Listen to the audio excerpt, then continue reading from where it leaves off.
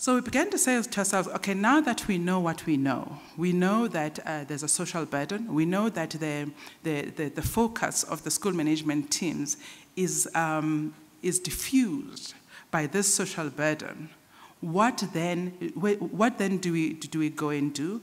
And we, we, we mounted a couple of programs uh, to, to, do that, to deal with the, the um, orphans and vulnerable children, for example. To, uh, we tried to find uh, NGOs that would support the schools, etc., etc.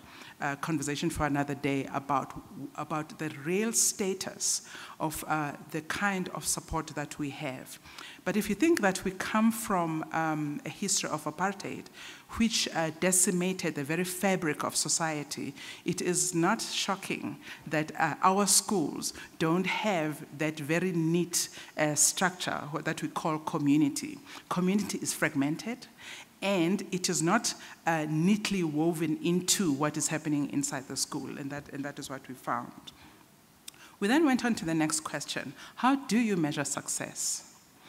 If, on the one hand, the schooling system is focusing on curriculum delivery, so you've got your education outcomes. But on this side, you've got something that we then talk to the, uh, to the social scientists, sorry, to the behavioral scientists, and they call them the social determinants that lie behind learning.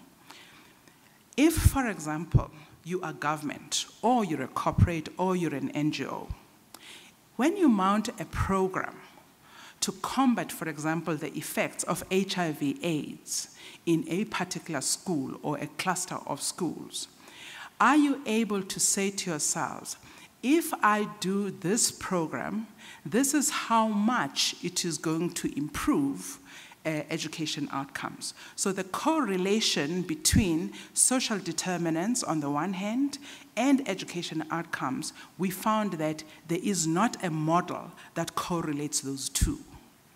And what we did is that we went out and uh, we are working on that process right now, where we're trying to find a model of correlating uh, social determinants on the one hand and the education outcomes.